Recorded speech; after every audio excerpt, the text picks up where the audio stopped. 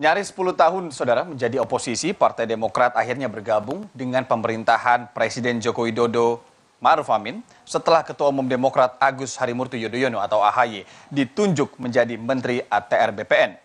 AHY mengaku Partai Demokrat sudah bergabung dengan Koalisi Indonesia Maju sebelum pemilu 2024 berlangsung. Lantas apa yang menjadi alasan AHY menerima pinangan Presiden Joko Widodo? Berikut petikan wawancara dari jurnalis Kompas TV di Ponur Bahagia dan juga Ganiar Febrian bersama Menteri ATR BPN Agus Harimurti Yudhoyono. Selama kurang lebih 10 tahun Partai Demokrat menempati posisi sebagai oposisi. Tetapi hari ini posisinya berubah dan bergabung bersama dengan koalisi Indonesia Maju ataupun kejajaran pemerintahan. Lantas apa sebenarnya alasan dari Partai Demokrat berubah haluan? Kita akan langsung tanyakan kepada Ketua Umum Partai Demokrat, Mas Agus Harimurti Yudhoyono. Pertama saya ingin mengucapkan selamat Mas karena sudah dilantik sebagai Menteri ATR BPN. Tetapi yang menjadi pertanyaan publik Mas, apa sebenarnya menjadi landasan ataupun alasan utama pada akhirnya Partai Demokrat berubah dari oposisi dan bergabung ke pemerintah? Iya, yang jelas sebelum pemilu diselenggarakan, kami secara de facto sudah berkoalisi, bergabung dengan Koalisi Indonesia Maju, mengusung Capres-Cawapres Prabowo Gibran. Dan Alhamdulillah, pemilu sudah kita gelar dan laksanakan, walaupun masih sementara penghitungan yang dilakukan oleh KPU masih terus berjalan, kita hormati itu semuanya, tetapi pasangan yang kami usung itu meraih angka yang sangat baik, menang secara menentukan. Dan ini sebuah uh, perjuangan bersama. Dan Demokrat ada bersama dengan Koalisi Indonesia Maju sebelum pemilu. Oleh karena itu ketika Bapak Presiden Joko Widodo uh, meminta sekaligus juga tentunya mengharapkan Partai Demokrat bergabung dengan pemerintahan di sisa 8 bulan uh, Kabinet Indonesia Maju uh, jilid kedua 2019 hingga 2024 ini, maka bagi Partai Demokrat ini sebuah peluang yang baik karena dari awal Demokrat ingin berkontribusi dalam pemerintahan.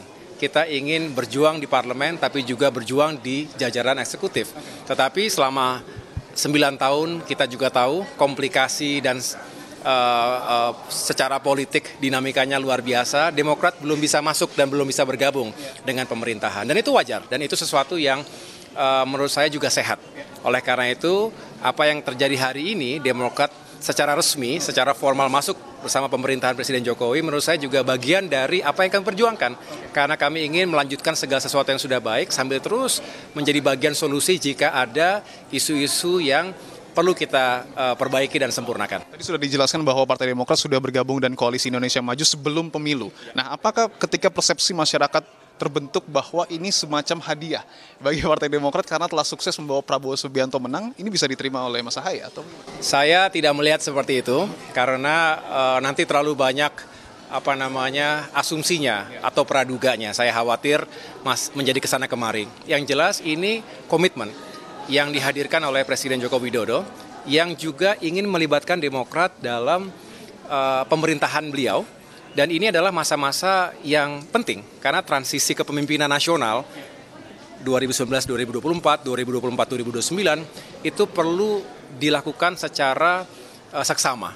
Dan kita tahu, insya Allah Pak Prabowo Subianto ter- dilantik menjadi presiden lima tahun ke depan, perlu ada sebuah transisi dari strategi, kebijakan, program, dan kami bersyukur kalau Demokrat dilibatkan. Dan dengan uh, bergabungnya kami ke pemerintahan artinya Demokrat dilibatkan dalam sebuah transisi kepemimpinan bangsa yang juga meyakinkan mengawal ini sukses sampai dengan akhir dan mengawali pemerintahan lima tahun ke depan juga dengan baik. Terakhir Mas singkat saja uh, pesan dari Presiden di 8 bulan ini Menteri ATR BPN apa yang akan gebrakan apa yang akan dilakukan? Tentu kalau berbicara secara realistis 8 bulan uh, gebrakan-gebrakan yang dibayangkan itu saya rasa kita lebih fokus pada menuntaskan segala sesuatu yang telah dikerjakan selama ini. Saya uh, saat tadi malam juga uh, meminta pandangan dan juga masukan-masukan dari Pak Hadi Cahyanto sebagai Menteri ATR dan BPN sebelumnya, termasuk juga tadi Pak Presiden Jokowi secara khusus menitipkan tiga hal utama. Yang pertama bagaimana kita memperluas secara masif sertifikasi elektronik. Mencegah terjadinya ketimpang tindihan dan juga kasus-kasus permasalahan yang uh, dihadirkan oleh para mafia tanah termasuk oknum-oknum yang memang harus didisiplinkan dan ditertibkan.